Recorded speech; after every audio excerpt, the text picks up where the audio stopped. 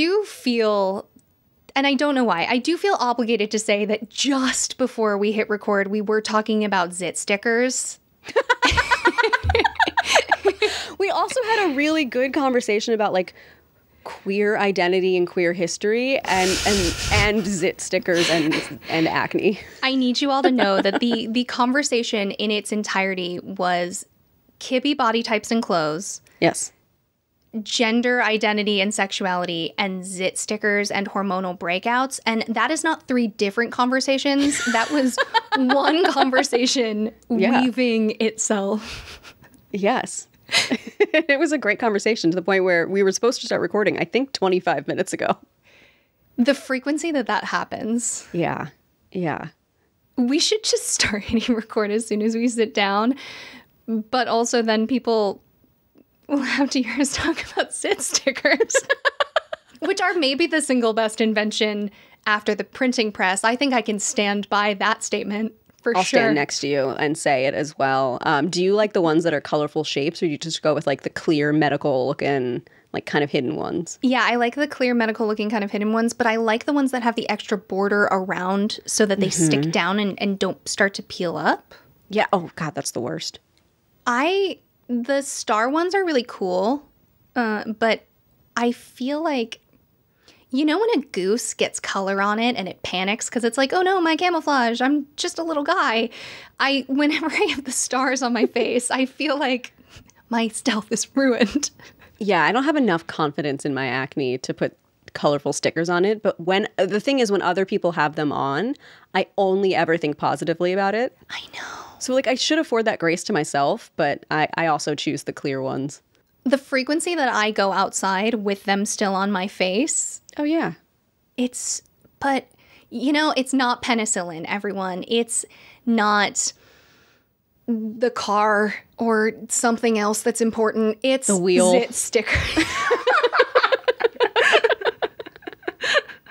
you know fire yeah, yeah, yeah, yeah. Well, that one wasn't invented. That was given to us by Prometheus. So, oh right good. my bad, yeah. zit stickers were given to us by who's the god of zit stickers It feels like it would be an Athena if we're going Greek pantheon. But you know what? I'm going to give it to Inanna and say thank you, Inanna, for that one.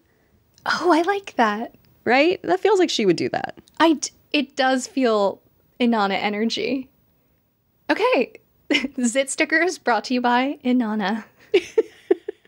Hi, I'm Rowan Hall, And I'm Tracy Harrison. and this is Willing and Fable, the podcast that brings you original retellings and in-depth research on the history, mystery, and mythology that makes the world so fascinating.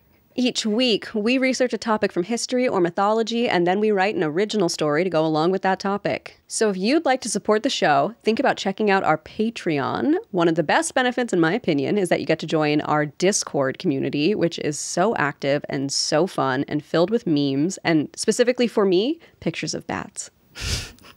I love it when everyone shows up with bats for you. Me too. It always makes my day. Tracy's inbox is so flooded with bats from me across so many different social media platforms. Oh, you know who the, I've, I've said this before. The top two people who consistently send me the cutest bat things are you and your mom. Yeah. also, if you want to support the show, you can send Tracy Bat pictures or you can head to our website, check out our recommendations page, check out our merch, just check out pictures of us. I don't know, click it. It's shockingly helpful, uh, that SEO. And Tracy made it really pretty for us. So, Oh, thank you. I love our website. It was really fun to work on. Or another way you can support the show is by putting on your favorite over the top fancy outfit and going to your local grocery store and picking up yourself a little treat. You've worked hard and you deserve it. But no matter what you do, we're just happy to join you on this episode. I need everyone to know I wrote that for Tracy because I needed a little treat.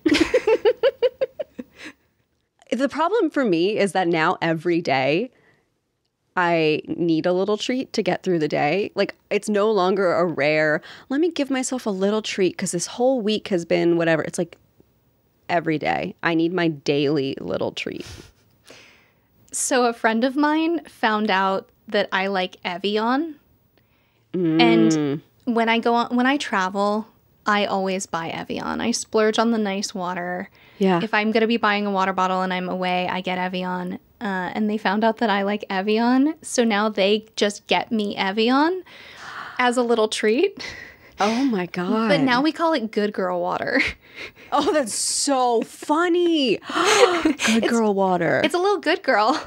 You know what mine is for that is Voss because sometimes at work we'll have like free food and drinks for big meetings, and every once in a while they'll splurge and they'll have a few Voss water bottles out, mm-hmm. and we're all like, "What are we kings?" And we all flood to them and like take as many as we can. I love Voss. And when you can get them in the glass bottles, Oh, I mean, it's genuinely. I sit there and I'm like, "Am I a king? What is this?" it's good girl water. I'm telling you, call your water, whatever you're drinking, people out there, good girl water, good boy water. You'll feel really accomplished getting it. You'll maybe want to drink it more. Yes. You don't have to do Evian. it tastes the most like the water at home to me. Mm. I don't typically buy different types of bottled water for like the way they taste. It's genuinely just like how bougie do I feel? Am I a good girl? Am I living like a king? Because sometimes I'm in the mood for a square Fiji bottle for no reason. It's the shape, not It's the the brand, shape. not the Yeah. flavor. Mm, okay. Can I justify it? No. Do I sometimes just go, yeah, this is the move today? Other days, it's a smart water. Because it's the smart choice or something. Yeah, because I feel like it's, you know, I'm look at me, I'm being healthy. It's got pH balance, which means nothing, by the way, everyone. Your pH balance of your body cannot move in a way that is impactful without you physically getting ill from it. So just buy the water you want. Don't worry if it's pH balanced. That is just a sales gimmick. Yeah, it's so much malarkey. I've had I've had a sickness where they had to measure my pH and it was relevant and that's it. Yeah, there's a great Sawbones episode about it. Check it out. So, really just to stop myself from continuing to list off brand name water that has nothing to do with our show. this is the last of our little four part series storytime episodes where Tracy and I took an excuse to look back at a hundred episodes of Willing and Fable and compile some stories we enjoyed, we thought about a lot, thought went together, and present them just as the fiction because folks ask us for that a, a bit. Yeah, people really love that aspect of our show. And so it was really fun for us to get to, to think through what have we really loved? What haven't we loved? What stories go together? What are the themes? And so we broke it up into these four episodes. And it's been really fun and really eye opening for us to explore. Yeah, part of the fun was looking at work we haven't looked at it for a very long time. I you and I talked about this early in this series, but you know, we we consume the episodes we've recently made because that's part of making them. Mm-hmm. And it's important to consume your own work, but by episode 100, it's been a minute since we visited episode 20. Yes. And separating out the fictional works also framed them really differently in my brain. Looking at your work now with a, a different thoughtful eye reframed it for me. It was fun. It was fun. Yeah.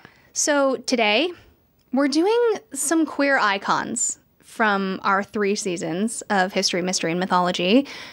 We're presenting Tracy's writing on Anne Lister, my story from Samson and Delilah. We're covering Inanna mm-hmm. and Achilles and Patroclus. And these stories are all so different. Yes, it was really hard to pick the stories we wanted to talk about in this episode. We had a long list that we had to narrow down based on what we really enjoyed having written, what we thought went together, and I'm really pleased with the four that we came out with, but it just makes me more and more excited for the seasons that we're going to do in the future to keep collecting those stories and sharing them with the world. These stories are so important and and also they allow us to be creative. Yes, that's true. I listened to these episodes and I just think about all of the history that I was taught that doesn't ever mention the queer community ever. No. And it's so wild hearing the public discourse now and saying, well, you know, this l- law in XYZ state actually prohibits you from talking about Martha Washington because she's Washington's wife. Like, are we re- are we really going to chase this down? Are we really going to say you can't talk about relationships just so we can be homophobic? And Right. it would have been such a benefit to so many of us, so many people, to just hear the wide variety of ways that people live and tell stories and love and explore history, mystery, mythology. You know, like the fiction and the history are Yeah. so deeply in, intertwined in this case that it's Well, and the implication that anything queer is unsafe for children is, is so deeply frustrating. Um, uh, there's the obviously the law that was just passed in Tennessee where drag queens are not allowed to perform in public. but the KKK can have a, a rally. Of course, it's you know free speech. It's, It- it's horrifying. it's horrible and and we obviously don't have time to dive into it deeply today but while we're here and talking about queer people and the the benefit they can have everyone needs to go check out mama g on tiktok instagram um, she's a, a uk based drag queen who goes to libraries and uh, her drag name is based on mother Goose. I goose love her content. yes um, we need more of that. You know, drag is this wide net. It, it's a drag queen named BenDeLaCreme uh, said it in an interview. Drag is a wide net, and you can have things that are pushing the boundaries of what society's comfortable with, and then you can have people like Mama G who read to children in libraries, which is something that is powerful and needed. Yeah, I remember seeing someone comment on one of Mama G's videos that their kid thought that they were a princess because it Yeah. was it was just like so much beautiful over the top femininity that they were like, "Oh, well this is just a princess reading to me," which is like the the childhood dream. Oh my god, of course. Kids believe in literal magic and and the most insane unreality we we present to them.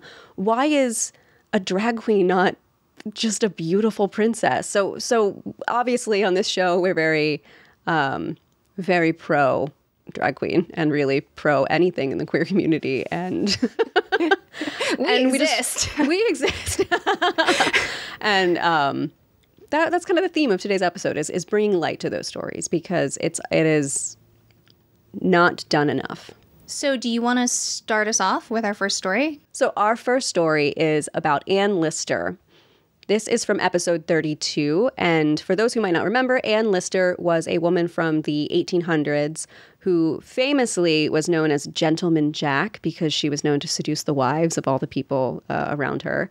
And she was an out and proud lesbian who married a woman named anne walker and very intentionally chose a high profile wife and the reason we know all of this is because her diaries were found and decoded hundreds of years after her death in her family home. And we have access to her most intimate thoughts and feelings and ideas from her life. Imagine being such the main character that you keep a diary in code. She was. Like She was. She, was that main character, you know? It's real Julie d'Aubigny energy. Yes.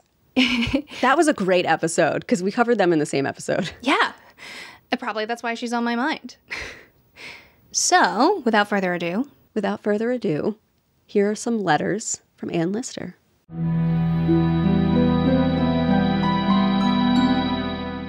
August 8th, 1806. It was, I remember, raining quite terribly on the day that I was politely asked to leave the boarding school. It wasn't even a remotely interesting straw that broke the camel's back. All I'd been doing was showing another girl a particularly amusing sketch I'd done earlier in the day. It was a small drawing of our teacher. Not even a bawdy one, just a drawing of her scrunched up, angry little face as she spoke. Well, I put pencil to paper, and that was that. Goodbye, boarding school. Goodbye, sloping attic room with that tiny, stubborn little window. And goodbye, Eliza. That last one was the only loss that even approached something resembling a sting. She was the first girl I ever kissed. She was the first of many things in my life first kiss, first touch, first love, and first loss. Before I met Eliza, I was so certain that something about me was wrong.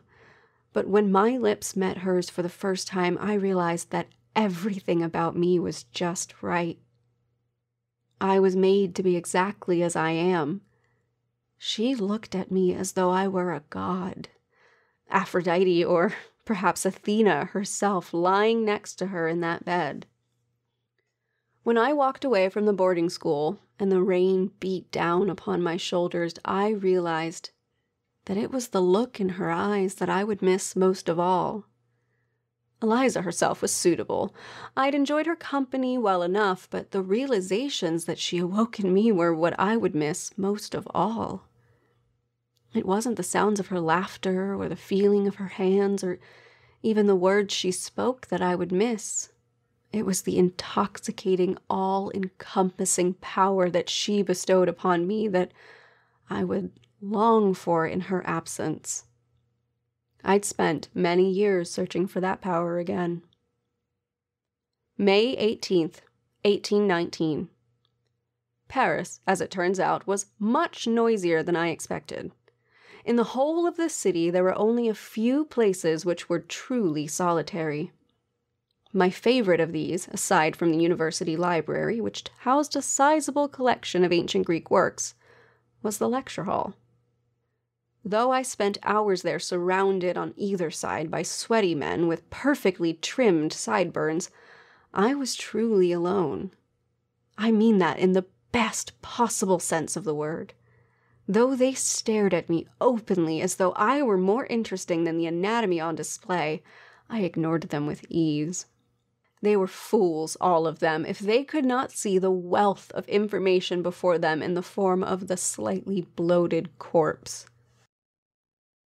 She was magnificent, all bones and sinew and muscle, and so very human.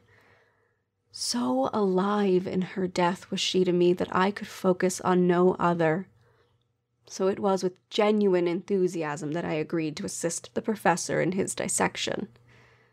All the men stared in horror as I, a woman, took the scalpel in my hand and ran it along the skin with ease. I saw no reason to be squeamish. The woman before me felt no pain, and this was finally my opportunity to learn. Why would I waste that time feeling anything but excitement? I traced the blade below her blue tinged bottom lip and thought briefly of Mariana. The curve of their mouths was so similar that for a moment I hesitated in my actions. The professor, mistaking my hesitation for disgust, tried to gently take the scalpel from my hand. But I pulled away, refusing to lose this opportunity over a woman I had not seen nor spoken to in over a year. A woman who betrayed my very soul the day she walked down that aisle. Mariana Belcombe was nothing to me now, no more alive in my life or in my mind than the swollen corpse before me. My heart died in my chest the day that she took her wedding vows. Watching her sell herself to that man, a man who cared for her no more than he did his prized cow, caused the final coating of ice to freeze over my already frigid heart. I would not love again. I could not. Not while the memory of our time together lived in my mind and blocked out anyone else from getting near me like I was in a gilded cage. If I could not have her, then I would have another. But I would not marry just for love, and I would never, ever, as she did, sell myself to a man. I would have myself a wife. Though, just as any man would be expected to, I would not just have any woman. My wife would need to be a woman of wealth, means, and status. I decided right then in that lecture hall with a scalpel in my hand that I would be no different than any other man in that room. I would be calculating. I would be smart. I would be a businesswoman. And I would have myself a wife by my side. I found that the blade cut more easily after that. October 20th, 1832. Anne Walker seems to be warming to my advances. Though ever still a shy and quiet girl, she looks upon me with a growing warmth in her eyes. She admitted to me just the other day that she'd taken notice of me when we'd first met nearly ten years before. She'd had hopes ever since that day that the two of us should meet again. Her hands played with the lace at her sleeves, and all I could think was how much I wanted to take those hands in mine and press my lips to the fingers They were always cold, Miss Walker's hands. She said she appreciated the warmth of mine wrapped around them as it helped relieve the ever present chill in her. I wanted her to know that I knew many other ways to warm her, body and soul, but I was aware that delicate steps needed to be taken with such a flighty bird. So I smiled and told her that when I had returned to Shibden Hall and discovered that she was near, it filled my heart with warmth to know we could be friends. She insisted then with enthusiasm that we were indeed friends. In fact, she admitted that I was the closest friend she'd ever had, more dear to her than anyone else had ever been. It was at that moment I knew that Anne Walker would be my wife. If it took me years from now or just another day, I was completely certain that she would be standing by my side as my bride one day. She was sweet and lovely, kind and demure, and most importantly, wealthy and connected. As I watched the autumn sunlight fall across the fabric of her pale pink gown, I felt an undeniable truth come to life inside of me. Sitting before me, hands delicately folded in her lap, was the woman I would one day marry. Unbeknownst to Miss Walker at the time, that was the moment she became my wife.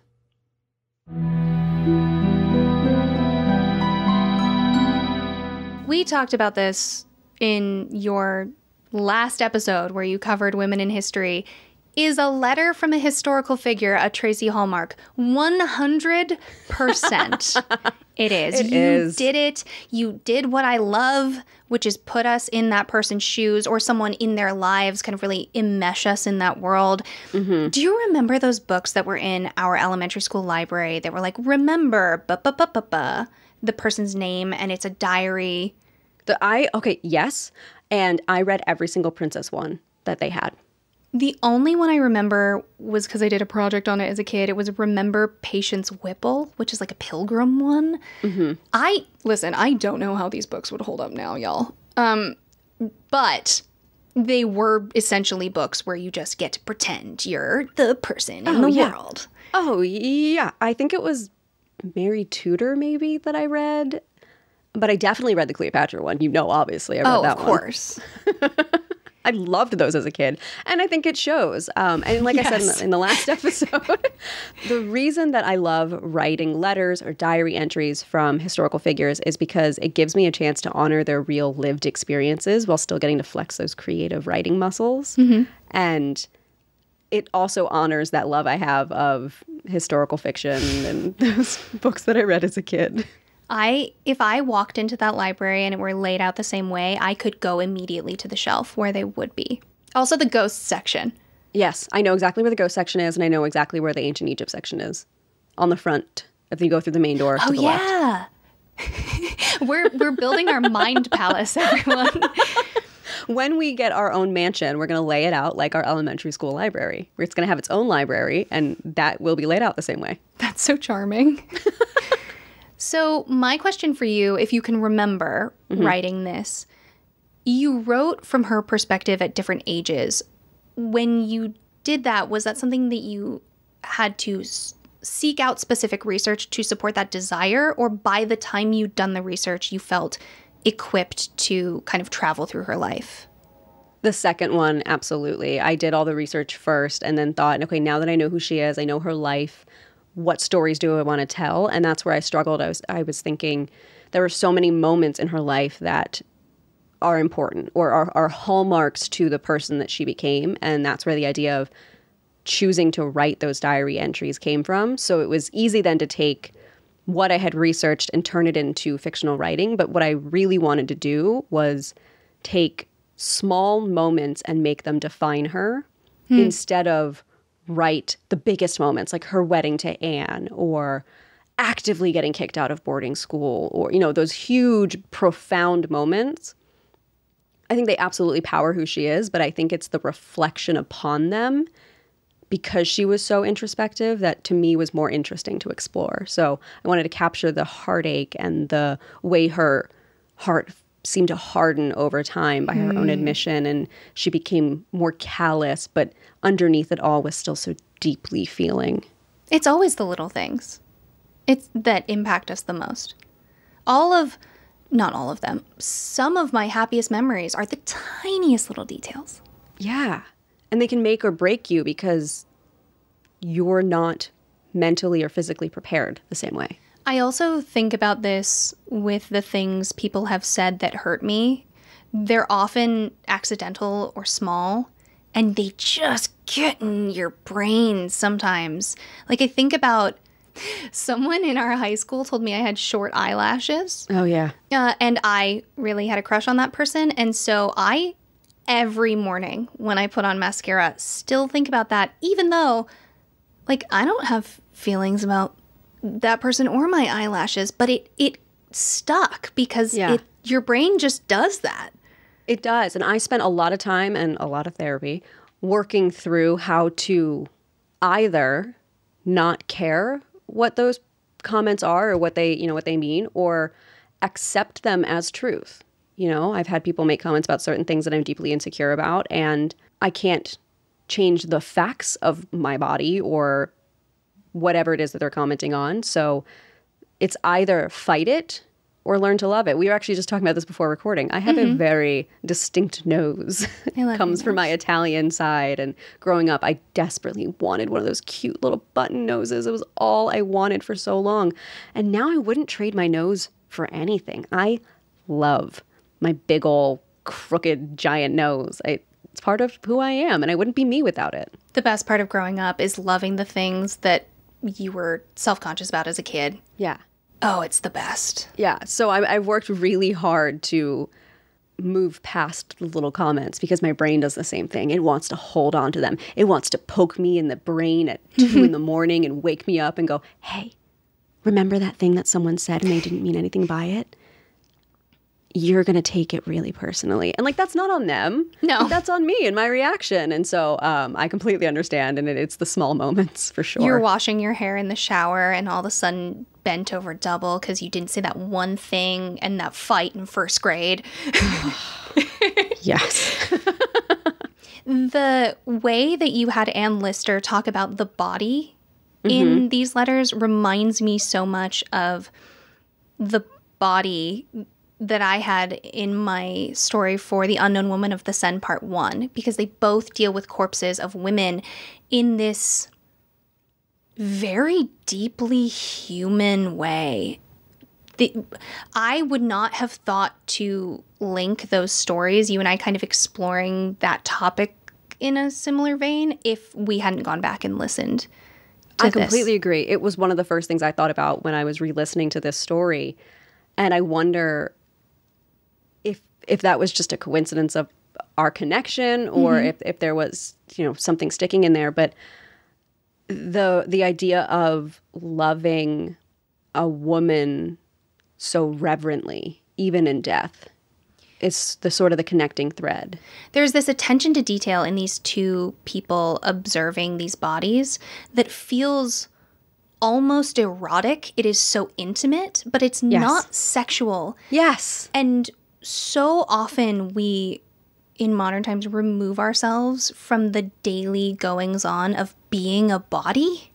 Like, just even like body hair and sweat and this and that. And it's interesting. I was just talking the other day. Uh, I go to this European style spa sometimes. Uh, where it has the women's and the men's, and you know, there are baths, and people can just walk around nude or in a bathing suit. And I was explaining to a friend, I'm shocked to find that just being around people being bodies makes me feel so much better about being a body. And I it's I'm not acknowledging anyone. None of us are really perceiving each Right. other. We're just kind of passing like ships in the night. But it removes the shame. It removes this the stigma because a lot of the, what we do in our society is say, especially as women, you have to hide your body because it's shameful to have one. Right. And I think perhaps in countries where there are more nude beaches and things like that, it's just naturally baked in. Mm-hmm. But otherwise, I am only presented with women who look fundamentally one way on the internet. Mm-hmm. And it's it's just been such a fascinating revelation. And I I feel that in both of those stories. And I'm going to take that as a tie into our next story the idea of bodies and their impact on Ooh, you. nicely done. Thank you. Uh, Rowan, why don't you take it away? So, this is from episode 48. I covered the story of Samson and Delilah, which is, I always jokingly say it's the kinkiest story in the Bible. Yes. Which is maybe the broadest oversimplification, but there is a sexuality in this story that is so often diminished and makes the story so much better. I mean, mm-hmm. it's it's really a story about tying someone you love up and having an erotic relationship and what it means to be great and how that affects your personal life. There's so many details, but I had the opportunity to be really creative with this mm-hmm. story and so I I loved going back to see it.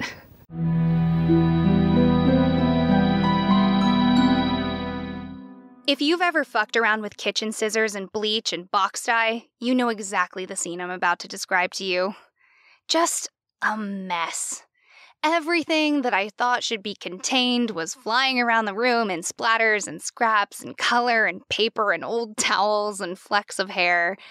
And we kept nervously laughing in a way that made my sides ache, and I was drinking this long, cold tea that made my lips pucker. Are you ready? I looked down at Sam, sitting on the toilet lid. He was staring in the mirror, still as a statue. His long brown hair was hanging like a glossy curtain down his back, and I could tell that the touch of it on his neck was making him itch in this awful internal way that only those things that violate our entire fucking identity really can. He was wearing this baggy shirt that obscured the hourglass curves with which I was intimately familiar, and after a year's worth of growing, his eyebrows had finally connected in this thick masculine swoop that framed his frustration. I could tell he was definitely not ready. So I took the scissors to my own hair. They were those shitty, orange handled desktop monstrosities that had absolutely no right to come near a single follicle. But it's what we had in the apartment, and they just looked brutal. You know, not the instruments of training or skill, just the tools of an exorcism, I guess. My bangs needed a trim anyway, so I leaned over the sink and started tackling the choppy, sort of hack job hair I'd been rocking for almost a year. It was one of the parts about me that Sam's parents least liked to see. And I started us nervously laughing again while I did an impression of Sam's dull father. Braid my hair. Sam's voice was as low as I'd ever heard it, the quiet intimacy that echoed in the small room. Truth be told, I'd not really touched his hair much. It was normally in this messy man bun that felt like a bright yellow yield sign as far as physical touch went, so I kept my hands occupied elsewhere most days. But we both looked at each other with this excited, manic expression that only comes when it's 2 a.m. and you have to cut off your own hair or else the world is going to swallow you up. We were whispering now. I was combing out those long lengths into the most neat, perfect braid I could possibly manage, and Sam was tying himself up in knots. Like literally tying himself. He'd done this trick with his sweatshirt sleeves that made his arms disappear into kind of a homemade harness jacket of fleece and panic. Are you okay? Sam kind of grinned. Not yet. I was holding his braid in my hands, and the scissors were wide open to saw through those 20 years of middle part, straight down the back, suburban girl lengths of hair. He just gave me the slightest nod. It was barely a movement. And then I fucking hacked that shit off. I held that braid up for Sam like a sacrifice to whatever God was available for a late night offering. We collapsed on the floor in this pile of whispering and giggling, snotty, teary kissing. And I don't know what it was. We were grown ass adults, but something about it felt like sneaking out at a sleepover or secretly piercing your ears at summer camp. Wait, wait, wait, wait, wait. Let me clean up the back. I pushed him off me and back to where I could finish cutting. Now, I'm not saying I'm a savant, but what I did with those scissors and clippers was frankly groundbreaking. An at home haircut so legendary that mere mortals will tell the story of my triumph for decades to come. No kidding, I could have a career as a barber tomorrow. I transform the men into men, baby. I am merely the hand that did the shearing, but oh, what skill that hand has. And the whole time I'm working my magic, figuring out how to use clippers and like know when bleach develops or whatever. And Sam is just looking at me in the mirror, untying himself and saying my name every so often in surprise. He'd tilt his head to a new angle and say, Delilah, in this shocked, blissful whisper. Delilah. Looking back, I think that's the most sensual way he'd ever said my name. Delilah. The whole time I was cutting and dyeing, Sam was just untying himself. the hoodie somehow became unwrapped, and he picked up that long, sleek braid, and he kept rubbing tears out of his eyes like he'd never seen his own face before just kind of stumbling around blind, although he was sitting in the bathroom with me the whole time. Sam looked smaller, somehow. Not weak, but like like the little kid version of himself. Not the adult one that had been running around for years trying to protect all his sweet, soft feelings, and not the Sam who'd had a thousand everyday people parrot some bullshit about, like, God's will and whatever convenient manipulation sold more misery. It's just this small, simple grace that was at the core of him that existed before the naming of things. So he would say, Delilah. And I knew he was thinking about the next time we'd see his parents, or like hell, the first time he just walked out the damn door. If they would recognize or rebuke him or imply that this always truth that they now had to see was a change that they could grow back. I just kept working, and I would say, Sam? And we just kept up these little private prayers until I finally finished rinsing the dye from his hair in the sink. It was blue bright, rich, shocking blue. Again, I must have done okay because that boy just looked. Mm. he looked like himself. Hey, Sam. I couldn't stop smiling. Samson, he said, for the first time. Hey, Samson, I said. Hey, Delilah. You know the feeling of freshly buzzed hair. It's soft to touch and it's soft to be touched. I stayed up that whole night just running my hands over the back of that boy's neck. He teased me that it itched, but I knew by the way he fell asleep that it didn't. Not really, not in that same internal way his hair had itched before. Everything was still a mess. It was too late now to start any cleaning, but it kind of felt non messy in the bed that night. I felt the calm of his breathing and the way his body relaxed, and I just thought, God damn, he's the strongest man I know. Please just let this make things a little easier. Let him be as weak as every other man every once in a while. I knew that starting tomorrow, anyone who saw his hair would give me credit, which is cool, I guess. I didn't do too bad with the trimming. But it really wasn't me that did the hard stuff. This was all Samson's story. And it's not really about a fucking haircut.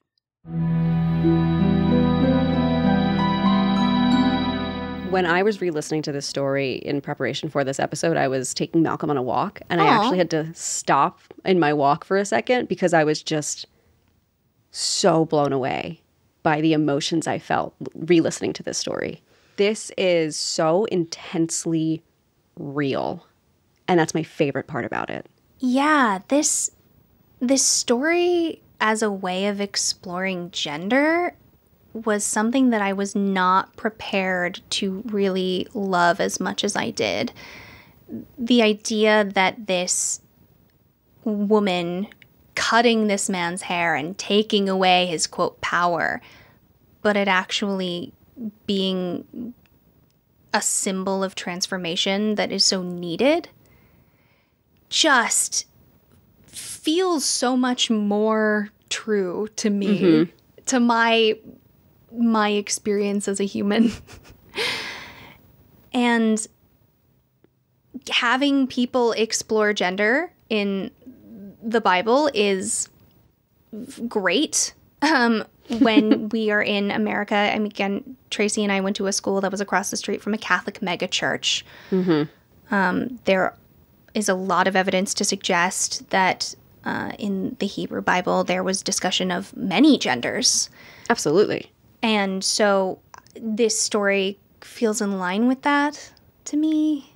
I I just loved it being just so chill and normal and like we've all had that moment where you have to cut your hair in the middle of the night. Or I I have. Oh, I have. Oh my god, the amount of hair colors and cuts I've had. Oh, that was one of my favorite parts of this. Was your description of just being in a too small bathroom in in your first apartment or your mm-hmm. college apartment or, or you know some place that's new and sacred to you, even if it's shitty and old, and loving that it's yours and being with the people that make you feel safe and doing something that feels true to you, even if it feels like a rebellion to the world. Mm. There are so many tiny, tiny details in this story that it was why I had to stop. Where I was like, I, I know these people. I know these two people Yeah.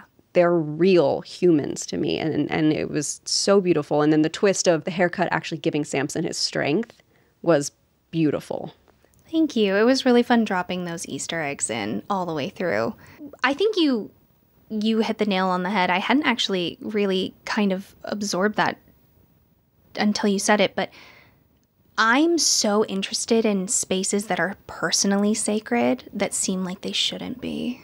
Because, you know, we've got churches and uh, all sorts of standing stones and mosques and temples and places that we uh, collectively all went, this is sacred.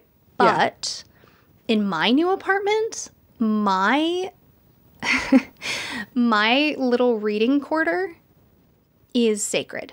The, the little area where I can just curl up with my book and the light is perfect and I can put on the candles, that feels sacred to me even though you know it's a an apartment that was built in the 70s it's Yeah. like, shabby and needs a repair and it's just so much more i don't know what's the word? It's not like godly. It's not like holy. It's like it just feels so larger than life. Yeah, it's a combination of feeling like the space is both sacred and then in order for it to feel that way for me it also has to feel like a home.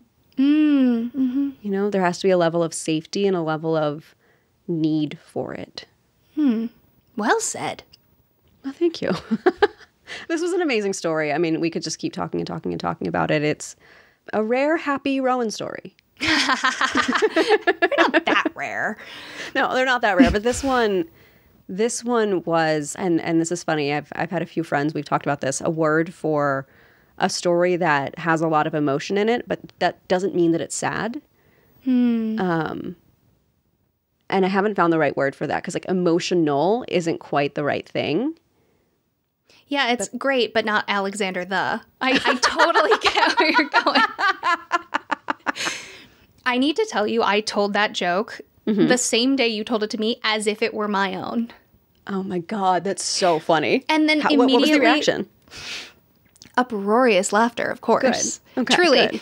And then immediately after, I was like, I know Tracy would be fine with it, but I'm going to tell everyone that this is from Tracy. I appreciate the credit, but I don't need it. but I didn't do it until after. So Yeah, good. Well, it's not going to hit the same if you're like, okay, so my friend said a funny joke, and I'm going to repeat. You just gotta, you gotta get it right out with, with the quick hit. One, two. Alexander the. great, but not Alexander the. Okay, so now our goddess of zit stickers. I can't believe.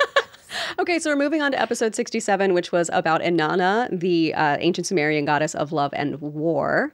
And I really loved getting to do this episode because exploring her and the nuances of her and the priests who worshipped her, known as Gala priests, which uh, were men who acted and spoke and kind of lived as women, was so eye opening to the idea that we think, and you know, you'll hear a lot of people say, there's been a gender binary forever. It's always been men and women. And that is so not true. And in so many cultures, they've accepted wider ideas of what gender is. And this was one of them. So I uh, had a really fun time writing this story of what does Inanna look like now? What does a goddess look like thousands of years after she had her heyday, thousands of years after her birth? I'm so glad that you pitched this to be in this episode because so far we've got so many different ways of being queer mm-hmm. and so many different focuses. Like Anne Lister is very much about how this person operates in a constrained society, how they feel empowered. Samson and Delilah is this personal love and mm-hmm. transformation. Inanna is this identity exploration. It's such a queerness is such a broad umbrella that to have a variety of stories instead of just love stories, mm-hmm. I think was really important to me. And I think you captured it here. Yeah. All right, let's jump into the story.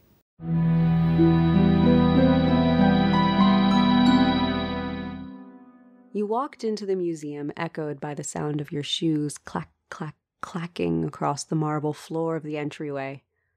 The lobby was a large and grand room, opulent in the way that only museums and opera houses seem to be anymore. There were wide stone columns around the edges of the circular room that reached with outstretched hands towards the sunroof. With bright sunlight streaming into the chamber through the wide floor to ceiling windows, the whole space felt light and airy, yet still imposing. You always appreciated that about this space. You walked towards the service desk tucked away at the left side of the room. You didn't need anything, but there was a young man working there you hadn't seen before. He sat next to a woman you'd seen here many times before. Her sleek black hair was always tied back into a tight, neat bun at the back of her head, and her eyes were lined with thick, dark liner. The young man, however, was all fresh faced and freckled, and he sat up straighter as you approached. They always did. There was something in your air even now that made everyone slightly uneasy around you. Sometimes it was the good kind of uneasy, like the flutterings in your stomach after a first date. Other times it was the sort of uneasiness that sat heavy in your gut and didn't leave you for hours. Based on the red flush already creeping up the man's face, you knew it was the first kind of uneasiness settling into his body. The woman, more used to your presence by now, simply grinned in amusement as you approached.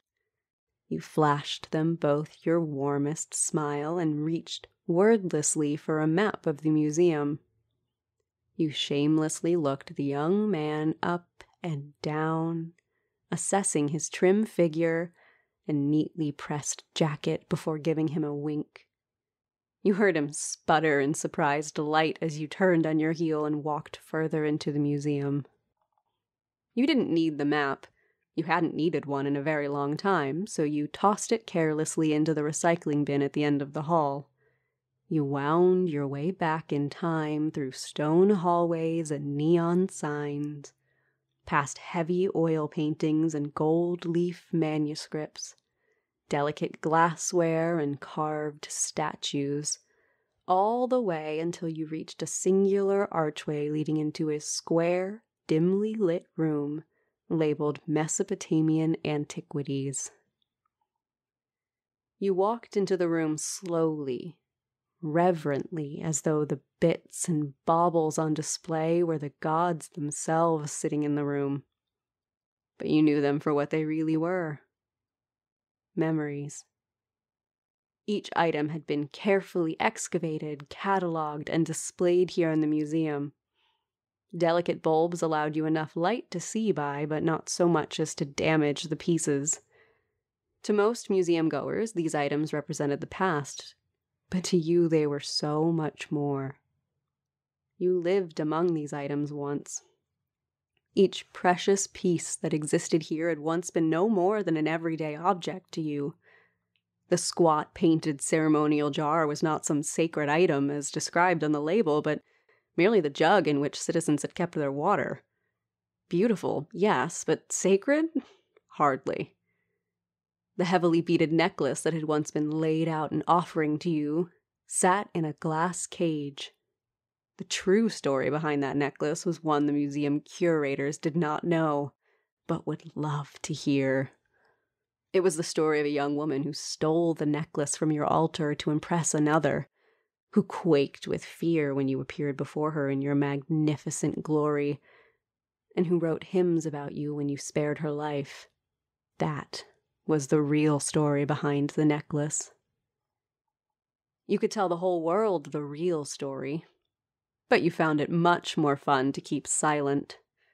Besides, those memories were a warm blanket on a cold day, a comforting reminder of what had once been. You didn't mind that things were different now. In fact, you welcomed it. Your children and your children's children ruled the skies, the seas, the earth, and all that existed beyond, and you were grateful for it. A star can only shine so brightly before it burns out, and you were proud of your gentle fading, of your soft descent from the heavens into a more comfortable life. Let the children hunt for their glory. You'd ruled for thousands of years, and still thousands of years after that they were saying your name. Let the others try to achieve half of what you accomplished in your time. A smile crossed your lips as you passed in front of a statue titled Inanna in Stone. You were depicted there with large breasts on display and hips nearly as wide as your shoulders that curved into finely shaped legs. But it was the statue next to this one, one that was neither man nor woman, yet somehow both at the same time. This was the statue that always caught your attention the most. It was titled Inanna in Marble and it was your favorite piece in the museum. Your hand traced across the glass in a gentle lover's caress. It wasn't lost on you, even after all these years, how strange it was to see these items reverently on display. To know that what had once been mundane was now so carefully protected. To see the life you once led decorate the rooms of a museum. That was the gift of eternity. To see today become history and to watch the cycle trip over itself time and time again. As you left the museum, you gave the freckled young man and the dark haired woman at the desk your phone number. You knew that without a doubt there would be messages waiting for you before you even made it home.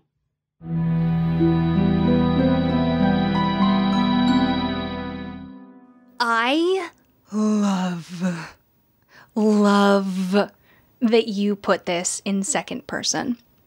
Thank you. I wish I could tell you what inspired me to do it, but I don't remember. I love it. because if I were in that museum and that woman came and talked to me, I would like to feel that I would know I was in the presence of a goddess. Mm-hmm. It just hits so right. And you and I explore second person sometimes and we talk about it a lot off the show that sometimes second person it's it feels jarring and sometimes that's great. Sometimes mm-hmm. you want it to feel jarring. But this just felt like a mm, like a little art gender feminist hug this was really fun to do. I mean, for all those reasons. And I intentionally did uh, something in the story, which, if you really pay attention, I don't gender Inanna. Uh, and that was part of, I think that was part of why I had fun writing it in second person. But so you know, your shoes make a clack, clack, clack sound, not your heels, You know, it could be dress shoes for men. It could be heels mm-hmm. for women. It could be a woman wearing men's dress shoes. You know, I, I wanted every listener to have the opportunity to know what it felt like to be this godly creature of love and war reflecting on their lives. And I think you doing that is part of what made it feel like I'm just, it's such an embrace. Like getting to be in that persona and feel that power. And then also, that story is filled with so much love and tenderness. This is a, mm-hmm. a goddess, and I use goddess because that's typically Yeah. how Inanna is described. This goddess has a reverence for humanity in the way that humans have a reverence for Inanna. Mm-hmm. And I- I don't know how you did it, but in being in that story, I get to experience divinity and am also imagining myself if I could witness it, if I could meet her. And that is such a double think game. I love it. Thank you. It was, it was, uh, I loved writing this one. I want to like write this over and over and over again because I wanted to explore exactly what you said, the idea of divinity and having a love for for what that means, but also I really wanted to explore the idea of aging gracefully and aging Oh, and yes. accepting what it means to age and not look back and think about how desperate you are for more time, but how grateful you are for what you've had and how beautiful it was to have it. You and I and a lot of our femme friends put a lot of work into appreciating aging because it takes an active effort in this society where people are trying to sell you things. Mm-hmm. So, as a listener to this story, I really appreciate that because aging is a delight. it's a, it's a gift. It is something we should be grateful for, and it breaks my heart constantly. I, I think about it all the time that our society is so afraid of it and so afraid of what it means to be older, and and especially again as a woman, I think about losing my value as I age, mm-hmm. and I hate that because I'm only getting smarter and I'm only getting better and I'm only learning to be a better version of myself. And why should crow's feet make that irrelevant? Exactly. It's ridiculous. And, and so I try to embody the love and respect for the idea that I aging. And actually, one of our um, listeners um, in our Discord, people say like Happy Level Up Day. And they're like, I'm X level years old. You know, I'm whatever level years old. And I love that idea because to mm-hmm. me, you're just gaining levels. You're getting better. You're not, that's not a number to be scared of. You want more levels. And I think about the women in my life, and so many of the women I'm closest to and who I admire the most are older than me. Mm-hmm. And I think my grandma, who is one of the most important people that has been in my life, if she didn't get to age, I wouldn't have had time with her. And Yes. just to imagine. Also, I mean, it, it gets tied into the fact that mm, I was catcalled and harassed by men more when I was a preteen and a teen than now. And I am older and more equipped to handle it and don't look like prey. Yes. And that is foul. It's disgusting. We oh god, we don't have time to dive into that, but I'm sure we'll do an episode on to touch on that topic. The idea that men date young women because they seem like prey because they're not going to fight back because they don't know any better. Oh yeah, now now I know what I want and I know how to ask for it, mm-hmm. which makes me less easy to manipulate. Yes. I will add as a last detail, you we talked about this in the episode, but you did that amazingly cool thing of like these are just normal items and now they're in a museum because they don't know better and you saw an exhibit, right? That- Yes. I wish I could tell you where it was. I think it was in Sweden. It might have been at, at one of the museums I went to in Sweden where it was a bunch of um, different toothbrushes, like different styles and varieties of toothbrushes, um, hung up the way that you hang up items in a museum. And then there was another section that was hairbrushes. And it was all different types and styles of hairbrushes and combs. And for me, it was so jarring to see something that sits on my bathroom counter out of context. And it mm. made me realize how that would feel in 1,000 years to go look at and be like, this is you're not understanding the picture of what this is. Like that toothbrush hanging in a display case doesn't feel like the toothbrush I know because the toothbrush uh, the toothbrush that I know is in a toothbrush holder on my bathroom counter under the lighting in my bathroom and I see it every single morning surrounded by hair ties and q-tips and, and you know it's it's so different. And so that combined with the idea that um, in in archaeology very often when people aren't entirely sure how to classify something they'll classify it as um, a religious object or more specifically a ritual object because rituals can mean so many things. Brushing your teeth is a ritual. Oh, that makes you could say a toothbrush is a ritual object. And so it gives you a little bit of wiggle room when you're trying to understand what it means. And those two concepts were what made me really want to write the story the way i did and have someone go back and say yes you're seeing what i saw but you don't understand what you're seeing. That also circles us back to this idea of what is personally sacred. I think of I have this antique hand mirror that I really love. Mm-hmm. And if that were in a museum, I love it, but is it sacred? Nah, probably not. But at the same time, if I am so far in the past that the person who is viewing that is able to romanticize me mm-hmm. as this woman who, maybe not unlike them, held this hand mirror and gazed at her reflection and Yeah. Now all of the sudden, both I and that hand mirror are closer to the divine. It's that like the feeling of being in the shoes of Inanna. You are elevated by the people that are witnessing you. Mm-hmm. That's a really good point You did so well with that story. thank you So now we're jumping closer to the present. Episode 71, I covered Achilles and Patroclus. yes this was such a good one The way that I love these two boys who were just roommates. No. they're just roommates I loved that episode because a the Greeks were super gay. Uh, you can Oh, yeah. get into if they had a term for it, all of the details. Honestly, listen to the episode, but the men were having sex with the men.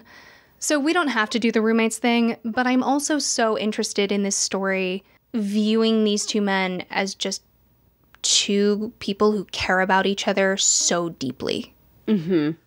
And do you have to think about the sexual element to value how close they are? I love that they're a couple, so I am perfectly content, but I do think it allows us to examine how men are able to be close with one another today. Right. Men men aren't given the same grace in that emotional intimacy. And that's part of what I love in this story is getting to explore that. All right.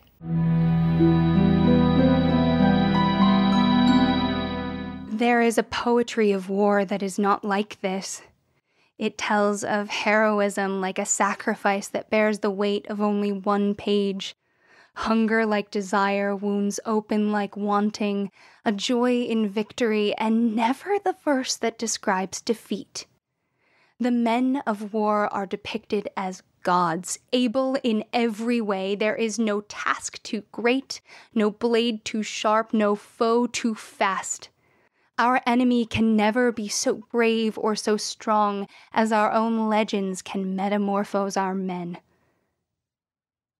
I thought I might be taller by now. There might be an inner strength that comes from killing for my homeland that first wash of blood and bile anointing me with the favor of Athena. The Trojans would look upon me and quiver, for my gaze would contain the very fire of the gods. I would spear men like fish, perhaps two or three in a moment, and somehow the throngs of armored enemies would split before me, swallowed in the fervor and power of our army. I am no fool, mind you. I am young and so unversed in the experience of war. I know my stature and my strength as surely as I know the sound of the waves on our ships. For all my youth and trembling, I can see that my only advantage is that my bones do not tire as easily as the men who are older and cleverer than I. My life before the war was short. So little had come of me. There is no learning and growing, there is only babe at the breast, safe at home, and me, man of war, transported in a blink and terrified. I cannot remember my sister's smile, or the way that the path turns from my favorite swimming hole. There is a bread I can no longer name that wafts through my dreaming, and I wonder if my old and tattered sandals still sit by my mother's old loom. But I know how to fish a bird from the air. I've swum in the wine dark ocean. My hair still grows and is cut and grows again. All the people who have ever known me may be dead, or they've forgotten. I look upon the vast swath of muck where I toil, and I realize that there is a smile five years old that I cannot even render any longer. I've never shown anyone the way I can ride a horse or the funny trick I could do to make my mother laugh by using a slip of grass to crow from out in the field. And that is all. There is nothing else to me that I would know myself from the next dying man bleeding out at my feet. I am a Myrmidon. I fight alongside Achilles, golden god among men. I've had Patroclus clean my wound, and I've bested them both with dice, only once. And I can imitate the way they laugh and carry on the way they communicate in familiar jokes. Half a dozen men all crowd around the fire with them, so closely pressed and known that they could share another man's stories and, and never have a breath out of place. There is no force stronger than ours. We are the best trained and the best led. We are respected through the camp, and I am promised a shared glory every morning. As long as you are remembered, you are never gone. As long as one man alive can speak your name, you exist, and there is no glory but to be known. I will memorize every Myrmidon's name. I am nearly there. I remember the cracks in Timon's eyes when he laughed. I recall Hesperos by his missing hand.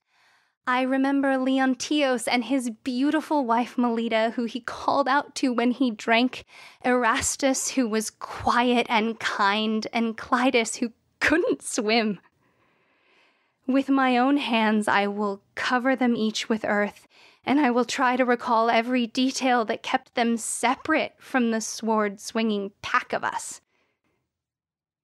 And that is only the men from this morning. I have seen Achilles weep into the arms of Patroclus as they stood by the sea at night. Perhaps, if I am killed before I am known, I will grab the Trojan by his neck, my hands slick with blood, his spear within my belly, and I will say, Diocles, like a curse that he will whisper my name each night in horror. That is not knowing a man, nor is it forgetting him.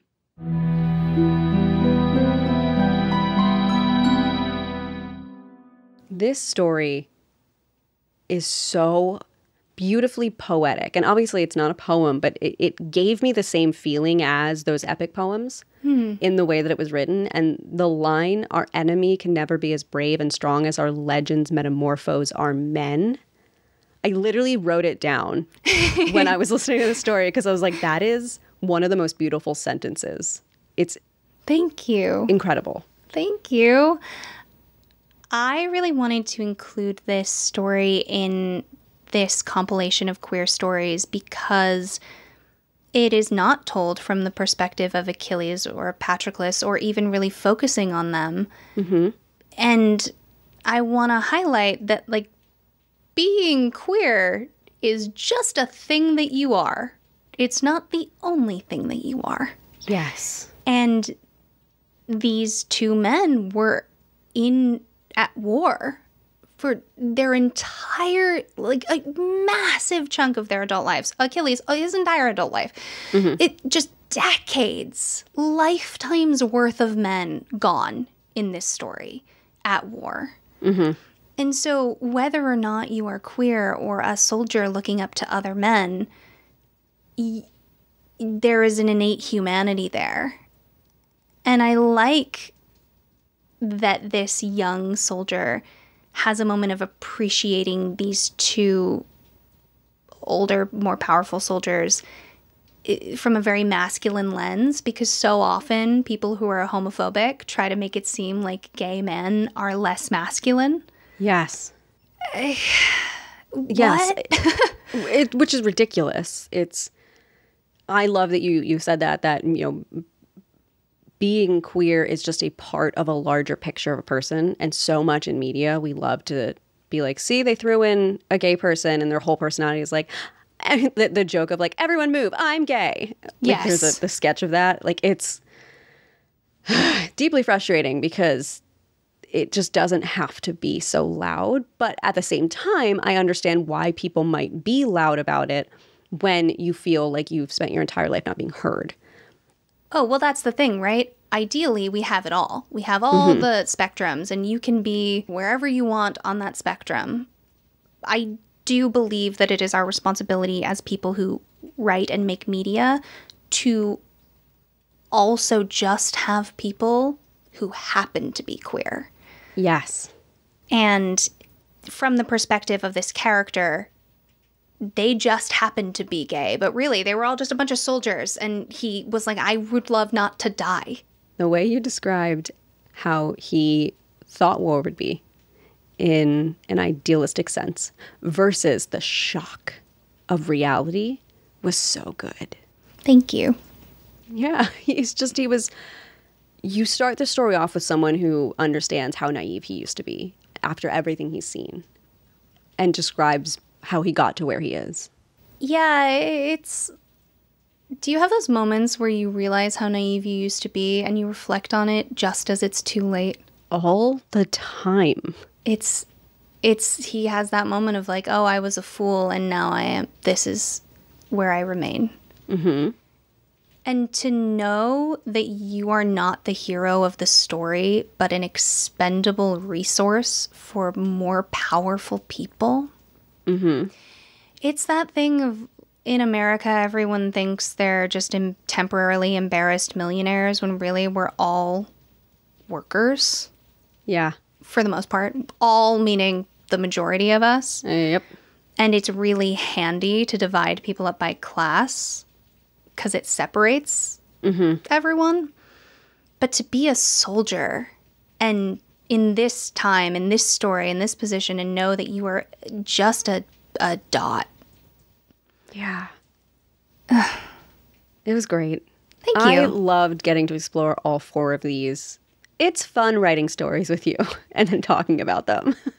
yeah, it's it's been good. It's nice. It truly, it is nice to f- force ourselves to go back and appreciate what we've done because I don't think either you or I would be inclined to do that. Uh, no, because it, it feels um, self indulgent to consume what you've created. To me, at least, and also there's the the idea that um it, it's either going to be self indulgent or I'm going to nitpick all of it, and so it, it no matter how I do it, it is vaguely uncomfortable, but it's also a great learning opportunity. Yeah, it it, it was just a great opportunity to learn about what I need to learn still and what I like and what you like. Uh, But we've also been doing this for a minute now. The show has evolved. Yes, it definitely has, um, and I'm I'm grateful that it has because I think change is always good.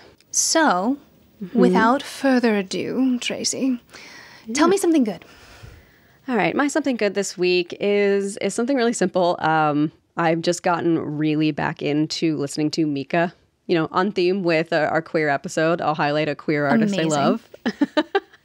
I even Rowan was a couple minutes late um, to recording, and I was like, "Oh my god, please take as much time as you need. I am jamming to Mika, and I've been for like this whole week. Like I, it was he was on a playlist I randomly put on, and I was like, "Oh my god, I love him." Um, and when I was in Italy, and it was it was late at night, we hadn't slept, and I had to drive our car like four hours to our destination to our hotel. It was really stressful because I was driving abroad Eek. for the first time ever. Um, and Casey was with me. And so what she did was she put on all of my favorite Mika songs and we sang at the top of our lungs to them to help me like stay calm while driving. And so I remembered that. And so there are a ton of moments in my life that uh, his music has been on in the background. And, and every time I come back to it, I find new things to love about it. So Mika is my something good this week. Everyone love go that. listen to him. He's amazing. I will probably be doing that after this because I Mm-hmm. have a couple playlists with Mika. Compliments of you. Ah, yes, I love him. He's on most of my playlists. All right, Rowan, it's your turn. Tell me something good. Mine is also in the spirit of simplicity. It's raining outside. I love the rain. I love it. And rain in Los Angeles is a stickier situation than it is in Pennsylvania. Oh, yeah. No one It- knows what to do with it, and it's kind of dangerous uh, for a lot of folks. And in my something good, I choose to just enjoy the sound. I have a lot of work to do, so I'm curling up with books and computer and tea and living the dream I actually want, which is weather and cloudiness and gloom. I am so happy for you that you get to experience that because it's been doing that a lot here lately and I'm getting tired of it. Yeah, you and I are really in the opposite place, but you know, It builds character. do it for the plot. yeah, there you go. All right, everyone, thank you so much for joining us. And remember that stories grow with the telling. So if you like what we do, tell a friend. Or tell a foe. And we'll see you soon, okay?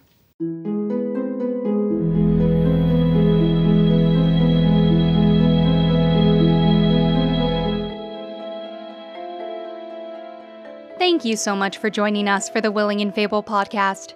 This episode was written and produced by Tracy Harrison and Rowan Hall. That's me. Our logo is by Jamie Harrison, and our music is by Taylor Ash. If you ever want to watch or read what we're reading, head over to willingandfable.com for our show notes and custom merch, or find us at Willing and Fable on Instagram, Twitter, and TikTok to join the discussion. We hope you'll rate, review, and subscribe to our podcast using your favorite listening source. And check out Willing and Fable on Patreon, where we have more than a few surprises for you, including custom artwork, stories, and access to our secret Discord channel. And of course, join us next time for another round of original retellings and in depth research on the history, mystery, and mythology that makes the world so fascinating.